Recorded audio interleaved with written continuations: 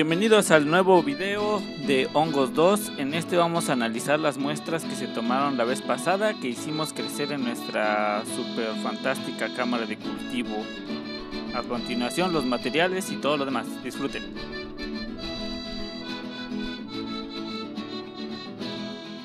Como vamos a trabajar con muestras con hongo, necesitamos tener el lugar súper limpio porque no sabemos realmente qué fue lo que creció en estas gelatinitas.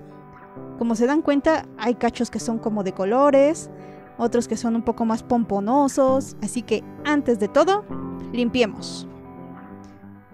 Y vamos a utilizar ahora las lámparas de alcohol para evitar que los bichos que puedan salir de estas cajitas puedan infectar este sitio. Para esta parte vamos a utilizar portaobjetos, que son estos vidriecitos. Aquí es donde vamos a poner la muestra de cada una de sus cajitas y poderlas ver en el microscopio. Las vamos a poner en una caja de Petri. Esto se llama caja de Petri, es de vidrio. Vamos a poner todos estos. Ah, y estos son los cubreobjetos, lo que va a ir en la parte de arriba, para que nos esté regando la muestra. Estas también van a ir dentro de la cajita de Petri. A esto le vamos a poner alcohol para que bañe todo esto. Con el alcohol estamos evitando que se propaguen todas las bacterias y hongos que salieron en sus muestras. Por eso necesitamos que estén bañados estos portas para que cuando pongamos la muestra se muera y ya no se pueda escapar nada que nos pueda hacer daño. El fuego nos va a ayudar a que mueran todos los bichos que estén aquí alrededor.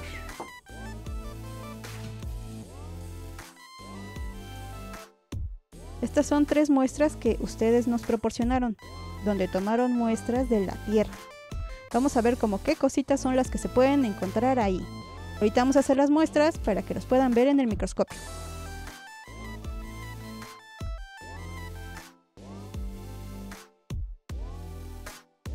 Vamos a ver qué son estas pelucitas blancas que le crecen.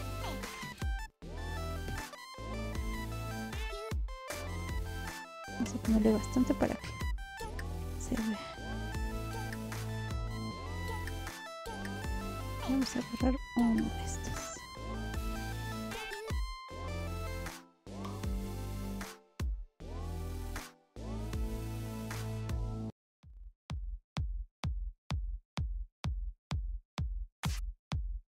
Aquí podemos ver unas estructuras como filamentitos, como si fueran tubitos.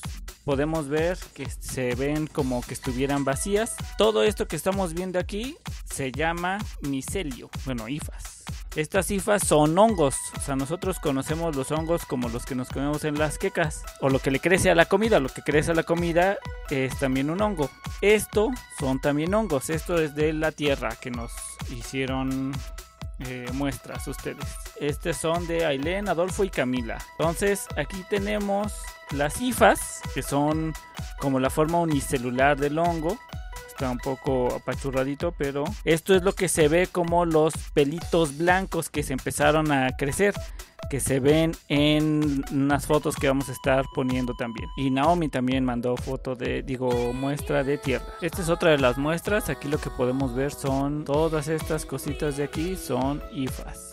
Sea que esto es un hongo. ¿Cómo podemos distinguir, por ejemplo, entre estos y las bacterias que veíamos la otra vez? Si se fijan, hay unas cosas pequeñitas que se están moviendo allá abajo que como que tiemblan y como que se mueven. Esas cosas son bacterias, pero todas estas grandes, que claramente son más gruesas, que tienen como separacioncitos y ramas, estos son los hongos. Si nosotros cortáramos un champiñón y lo vemos en el micro, también vamos a encontrar cosas como estas. O sea, los hongos que comemos también están hechos de unas cosas como estas, hifas. Aquí podemos ver, por ejemplo, es otro punto de nuestra muestra. Y lo que podemos ver son los, las células. Cada uno de esos cachos es una célula. Y se ve cómo se les ven unas esferitas en, adentro de las células. Esos son núcleos. Los hongos son organismos hechos de muchas células, como nosotros, y que forman eh, estas redes gigantescas que les llamamos, bueno, a, partir de sus celulotas que son las cifas, que son todos estos filamentitos, y forman los micelios. Los micelios pues son cantidades grandes de estas hifas. Y por ejemplo en los champiñones se ve diferente porque eh, es una estructura ya con más forma y entonces ya no nomás es como una manchita verde, un conjunto de filamentitos, sino que ya se estructura como si fuera una barda. Aquí lo que podemos ver es cómo se ven los nuclecitos. Aquí se ven muchos más núcleos que acuérdense como decíamos de, en los protozoarios que son como su cerebro, es donde guardan su información con la que se van a reproducir también, la que le van a pasar a sus hijos y la que da órdenes. Y arriba se ve una estructura como rosita moradosa, aquí se ve mejor, que son sus estructuras reproductoras. A ellos no hacen semillas, sino que producen esporas y las producen a través de estas estructuritas. Si se fijan, algunas de las estructuras o de las cifas que tienen eh, tienen colores porque algunos producen en sus sustancias de reserva son coloridas y por eso cuando los vemos en menor aumento en las cajitas se ven verdes o rojas o rositas o así de diferentes colores. Esto es lo que decíamos hace rato. Aquí el, el hongo en su cajita se ve de un color. En este caso se ve amarillento, muy amarillento. Y cuando nos acercamos se ve cafecito, rojizo. Y vean, aquí están otra vez las hifas con sus muchos núcleos. Se ven algunas estructuras reproductoras, esos circulitos grandes que se ven a la derecha. Los otros círculos son algunas células que se están saliendo. Y en lo amarillo, bueno, no podemos distinguir bien porque está muy masacotudo. Pero ahí se verían estructuras con sus cosos de reserva para cuando la malpasan. Ahí guardan la comida que van a poder utilizar después. Vean esas estructuras que también son reproductoras. Aquí, por ejemplo, tenemos esta gran esferota. Si se fijan, tiene otras esferitas, bolitas en la superficie. Algunas se les ven hasta unos pedunculitos. Un pedúnculo es como si fuera un palito que sostiene una paleta. Les vemos los pedunculitos de las paletas. Cada esferita es una estructura o una espora y toda esa esferota grande que lo sostiene es una estructura reproductora. Lo que quiere decir es que había nutrientes suficientes, como con las plantas cuando necesitan para dar flor, y dijo, ah, pues ahora es momento, y entonces formó sus estructuras reproductoras. Si se fijan a los lados, se ven estas estructuras filamentosas, bueno, filamentos o así tubos largos, gruesos. Esos son las hifas, o sea, esto es el hongo y de una de las cifas surge la estructura reproductora. A los lados están nadando las otras esporitas, porque a la hora que lo apachurramos suelta las esporas, porque así es como se va a reproducir. Esto en macroscópico, pues en tamaño normal, se ve como si fuera pelo o pelusa con puntitos negros. Estos puntitos negros son los reproductores. Aquí tenemos la última muestra de la de tierra. Eh, aquí en particular esporas de dos tipos diferentes, los que teníamos hace rato que son como esferitas pequeñitas y estos como baloncitos que después se pueden abrir y formar otros hongos. Estas cosas también son esporas de otro tipo, son más resistentes a los cambios. Si se fijan ahí se ven unas cosas pequeñitas que están bailando junto a las esferotas, esas son bacterias como las que vimos en el primer video. Y si se fijan, tan solo el tamaño ya nos da una característica diferente entre ambos tipos de cosas, ¿no? De organismos. Ahora vean cómo se ve dividido esta estructura, esta esporota. Como la otra es como nada más la pura celulita. Es del perro de Naomi. Tienes el acercamiento de la natita blanca. Si se fijan, es muy gruesa y está constituida de miles de bolitas pegadas probablemente entre sí que generan ellas mismas. Todas estas son bacterias. ¿Se acuerdan cómo se ve eh, dientes sucios? Si alguna vez han tenido los dientes sucios porque un día no se los lavan, se les hace una especie de capa como si fuera una basurilla blanca. Es así como esto, son bacterias que lo que hacen es que sueltan una mucosidad entre sí y eso ayuda a que se peguen entre sí y entonces cuando tú les pones un medicamento o se les va el agua o viene algo muy caliente o así tratan de resistir porque pues tienen millones de capas. Y entonces es como como que tienen una capa protectora de, de ellas mismas. Entonces algunos dicen ah bueno yo me puedo sacrificar y me toca hasta arriba y entonces por dentro de la capa siguen creciendo muchísimas bacterias y así sobreviven más. A esto también les dicen biofilms. Aquí podemos ver la parte roja de lo que estaba creciendo, de lo que salió de su patita. Y vemos dos cosas. Uno son bacterias. Eso rojo que vemos a la derecha son miles de bacterias. Otro film, lo que decíamos hace rato, como el de los dientes, como el sarro de los dientes. Eso es. Y está creciendo además un hongo. El hongo lo podemos ver aquí a la izquierda. Se le ven sus celulitas, sus núcleos, se ven las hifas, que son los, estos filamentos que constituyen al hongo. Y podemos ver que las bacterias están creciendo sobre el hongo donde está el rojo, miren, ahí se ve hongo y luego las bacterias. Hongo y luego las bacterias. Esto quiere decir que hay, un, hay dos opciones. Una es que los hongos llegan primero y eh, crecen, empiezan a proliferarse, bueno, a reproducirse. Y luego llega la bacteria y se pone sobre ellos porque ya pusieron una especie de pastito. Y entonces las bacterias crecen sobre ellos y en el peor de los casos se los comen. Otra es que hayan llegado las bacterias primero, empiezan a crecer, hacen el pastito rojo y los hongos dicen, ah, bueno, ahora me quedo aquí y crecen sobre las bacterias. También puede ser que se coman a las bacterias. Entonces eso no, no lo podemos saber aquí, pero eso sí puede pasar. Bueno, esta es la muestra del perro de Feli. Aquí lo que estamos viendo son un montón de filamentos que son bacterias. Mira cómo se ve la nata. No se les ve núcleos, son pequeñitas se parecen más a las del perro de Naomi o algo que están agarrando del piso, entonces pues coincide como en muchos lados.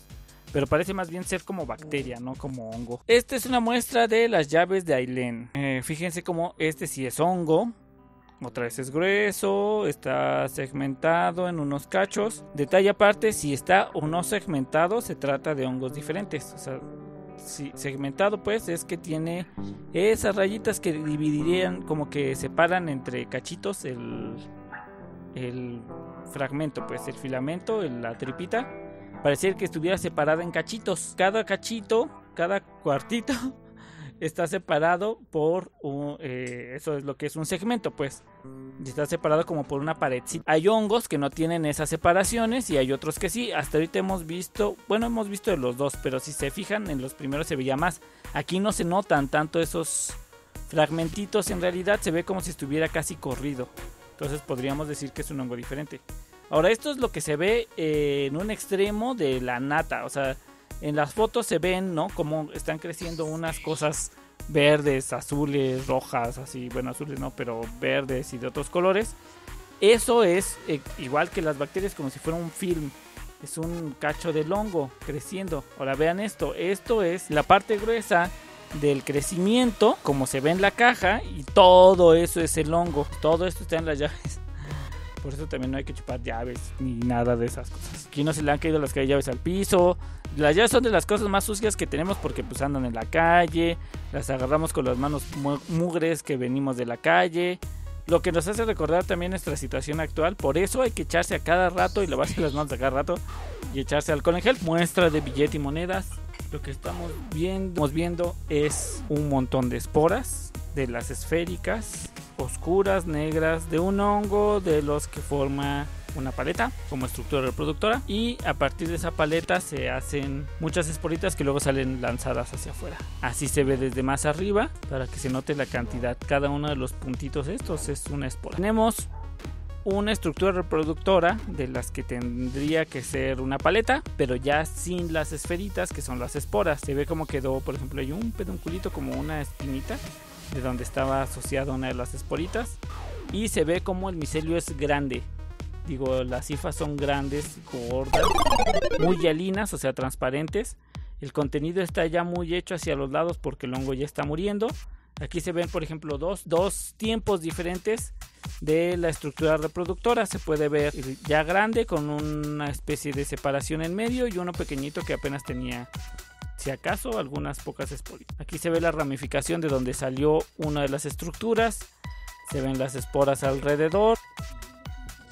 Este es muestra de la puerta principal, la puerta de la entrada de la unidad. Bueno, aquí podemos ver, eh, hay un tipo de hongo que se llama levadura. La levadura se utiliza para pan, el pan bimbo, eso que huele cuando huele que están haciendo pan bimbo de la, de la fábrica que está aquí cerca. Eh, a los pasteles se les pone levadura, a, los, a las bebidas alcohólicas, eh, el pulque, la cerveza y así varios, utilizan las levaduras porque las levaduras durante su proceso de vivir, literalmente vivir, eh, generan alcohol, algunas.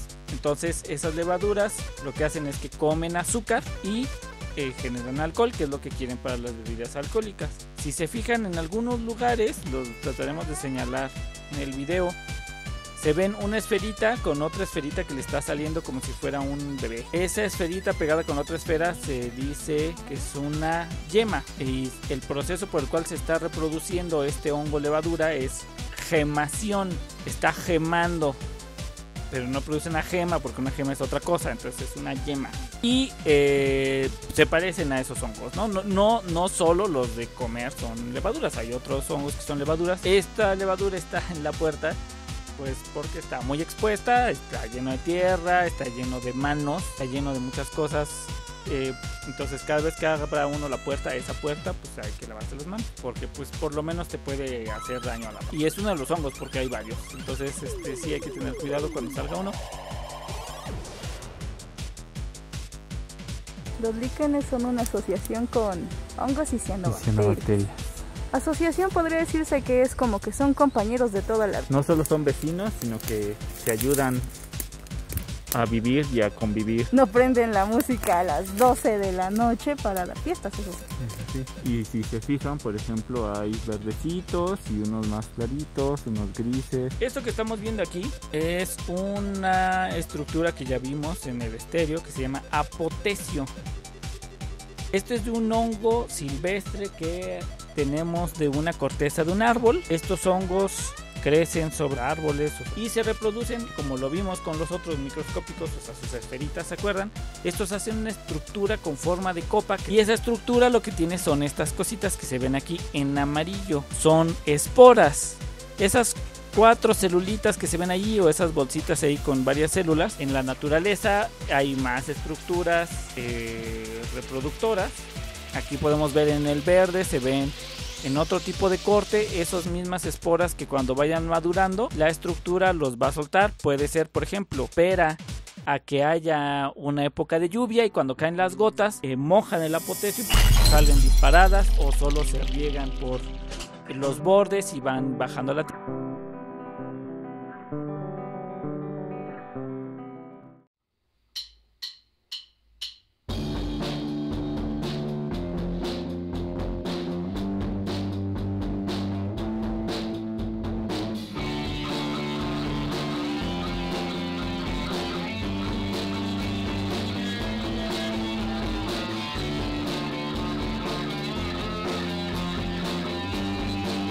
Estas últimas muestras que estamos viendo son las muestras que los niños pudieron hacer con el material que se mandó y los kits, todo eso que se mandó.